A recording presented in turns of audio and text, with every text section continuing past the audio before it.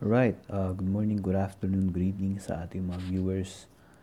And this is PSE. I recap, we'll try to review kung ano yung mga nangyari last week and we'll try to check no, kung ano yung mga stocks that we should be watching on our core watch list.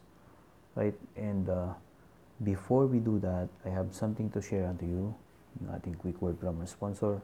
This comes from Psalm uh, chapter 127 verse 3 Truly, children are a gift from the Lord. The fruit of the womb is a reward. Alright? Alam naman natin yan and hopefully, no, you are able to to really understand itong verse na to.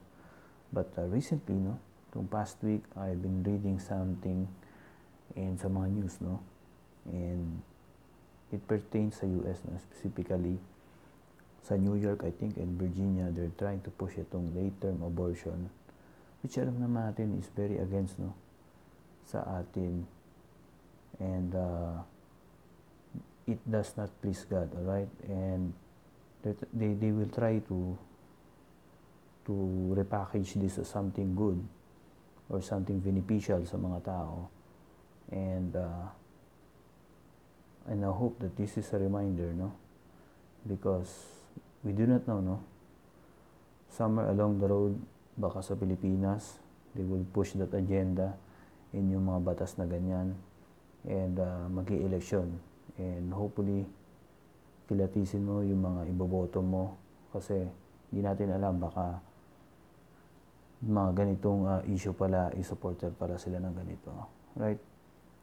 And guys no it's really up to us believers the Christians to speak up and uh, to stand up no sa mga ganitong uh, bagay. Specifically, di ba?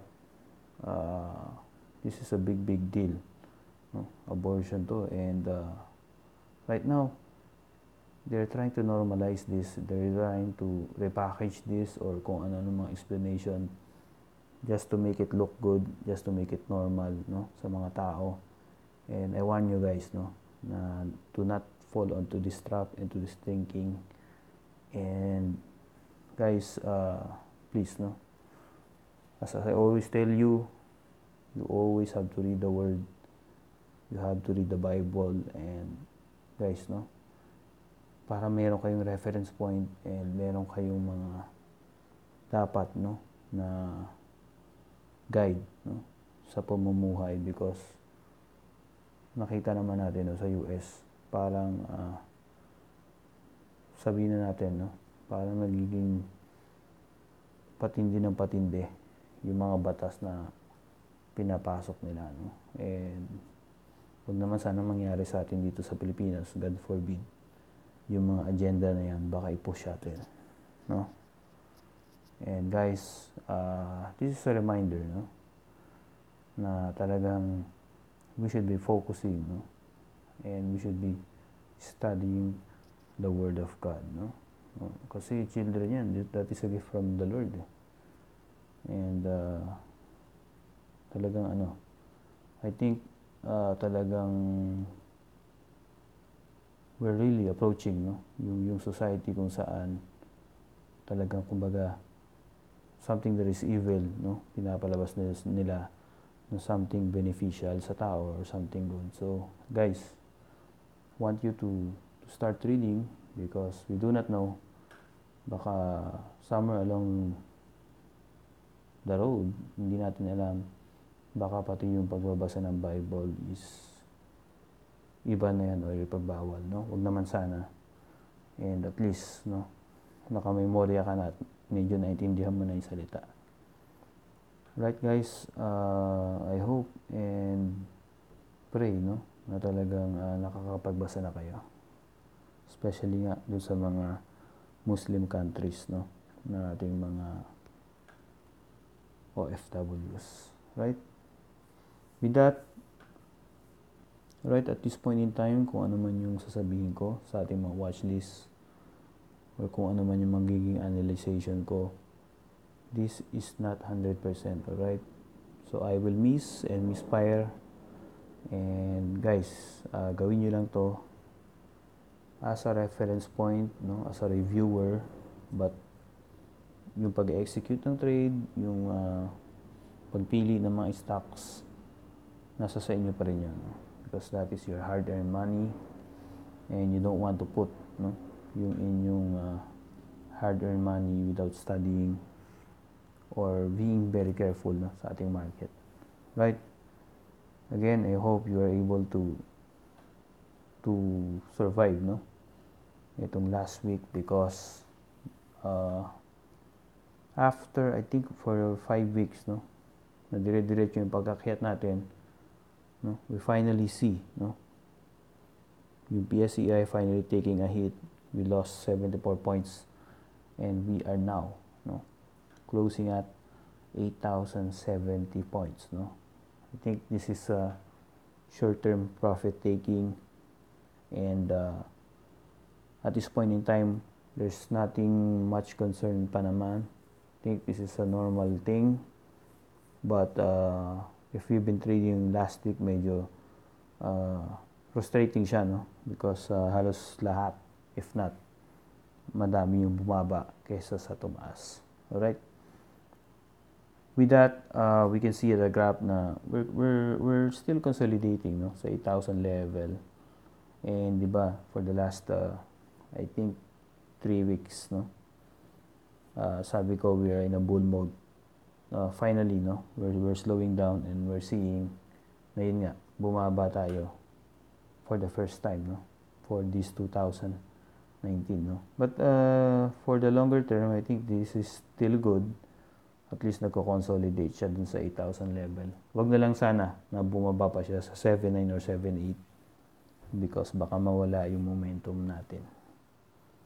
Right, with that, ang ating move of the week, no? I think this is on a Friday, ito Makai, which is ceiling, no? 50%. And if you're going to ask me, uh, medyo etong stock na to with ganyan, no? Ibig sabihin niya, mataas yung spreads niya and you don't wanna get caught dito sa, sa stock na to, no? Especially if you don't have the full time para bantayan to. Eh, umiwas ka na lang muna rito because uh, this is a very, very volatile stock. And mahirap, no? Halos wala nga setup bilang tumaas ng 50% na ganyan. Right? But if you're going to play this intraday at least, no, you try to minimize no or lessen your position because uh, mabilis, mabilis din bumaba yung mga ganitong stock, itong makay, no. Wala rin naman siyang stories or mga technical setup na dapat natin makita. And ingat lang, no? Ingat itong mga ganitong stocks. Alright, uh, for the no for February, no, I think this is second week, no, rating natin would be 5, no. I think for the short terms, the market seems to be resting and stand stand still, no. So kumbaga sa ano nag-aantayan or nag-aabangan no kung sino who would make the move especially sa mga big players or who would step up tapos saka sila papasok. I think, uh, for the meantime, I think this would be a waiting game, no? Until we see yung mga confirmation and yung we see yung mga leaders natin, no? Mga equity leaders natin na mag-move, no? I think this is a waiting game. Right? Uh, guys, no? Yung mga ganitong market, you, you should be careful and if you are kung pumasok ka no recently sa my stocks and hindi pumabor sa iyo medyo kumbaga sa ano tinamaan ka ng tinamaan. Alright okay lang yan no? Okay lang yan uh, you're cutting your losses you're minimizing your risk. Basta you should be able to understand no? That a short term loser will finally be the long term winner no? Sa katagalan. Be defensive sa mga ganitong market because uh, mahirap mahirap i-trade itong mga ganito no? And you have just to understand na you only have to learn this once no or yung mga ganitong methods or yung mga market na ganito and then once you are experienced enough you will be able to survive and uh, you stuck your learning, no? Basta ano ka lang, uh, tsagain mo lang and you will finally get it, no? Because uh, ganyan din naman ako nung nag-umpisa, no? Right, uh, with that, let's now move on sa ating watch list. Again, I, I'm saying unto you, this is not a hundred percent analysis and uh, you should be you should be only uh, watching this as a reference point or a reviewer no and you should not uh, base your trades sa mga analysis ko because I am also misfiring and marami rin naman tayong uh, mga mali no nagkakatalo-talo na lang talaga sa execution and sa mga defensive setup natin no so for our ALI no I think this was all also no on our watch list last week and maganda rin naman yung tinakbo niya. And finally, no, we're seeing at it's currently sitting at support. Itong uh, 45 uh, the psychological and technical level. And for ALI, uh, we're seeing no, that the price is tightening at this area and that is good. And pwede ka nang uh, mag-partial positioning dito sa support na to. At least uh, you buy some shares. If not, uh, huwag ka munang mag-all in. Or if you're still skeptical, you buy on the breakout talaga. No? Pag na-shoot up na yung price ng paganon, and then yung volume talaga mataas. No? So, that is for our our take no? Sa ALI and let's now move on. Next on our watch list would be no? Another giant. And that is SMPH. Again, same thing sa ALI is currently sitting at support. Tong area na to. And you may want to uh, accumulate no? Or partially buy yung, yung shares because maganda rin naman na buy point to. Again, same with ALI uh, medyo nag uh, ano bukod sa its serial of support, medyo yung prices nagsasubside din doon, which is good, no? And kumbaga sa ano, pwede ka nang pumesto ngayon. And let's try to see, no? Especially if we see yung market finally yung hitting yung mga 8384 level. Uh, wala naman na ibang ano, magdadala dyan kung hindi itong ALI and SMPH. Alright? So currently with its price na 36, no? I think this is 30 38.65, I mean. Maganda rin naman napasukan na yung ALI. At least partially, no, bumili ka. Next on our watch list would be, alright, uh, FDC. Uh, tulad nga ng sinabi natin last week, we do not see this uh, breaking out. And No, looks like, no? Ganun naman talaga yung nangyayari. And for FDC, mukhang uh, it will retest yung support dito sa area na to, no? I think this is 1230 to 1250. And be ready, no? Uh, because once we see yung reversal, once it is hits the support and we see yung reversal candle, uh, pwede na natin na uh, bilhin na itong FDC. Again, very, very solid uptrend. You know the story. One of the winners tong ano tong uh, FDC may pinanalong project to. And for the for 2018 maganda yung mga reports and uh, tulad na sinabi ko it, it, it is exhibiting no? Yung growth stock as you see it uh, technically and fundamentally makikita mo talaga that this is a growth stock itong FDC And yun nga, uh, it's a waiting game. Let's try to check and see if may hit niya tong 1250 or 1230 area and pwede tayo makabili. No? Dito sa FDCN makapwesto. No? Ganda siya. Least, uh, parang green din yung setup eh, no? Pero, let's see, no? Kung anong mangyayari and let's try to check and see kung ano yung magiging reaction niya dito sa support area na to. Okay, next on our watch list would be, sino pa ba, kundi yung green, no?